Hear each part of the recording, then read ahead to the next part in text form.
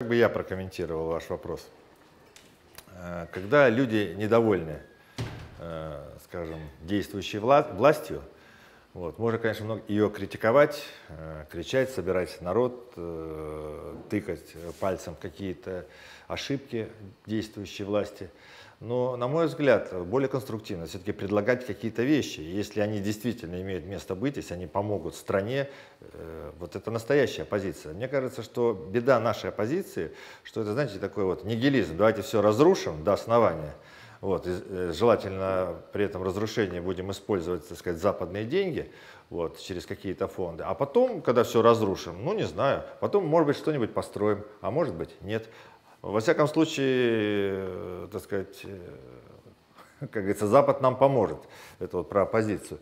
Вот я думаю, что настоящая оппозиция – это та оппозиция, которая сотрудничает все-таки с властью, предлагая ей э, ну, какие-то другие, скажем, формы ре- решения тех или иных проблем. Ну, знаете, вот э, когда э, люди искренне желают стране добра, это сразу видно.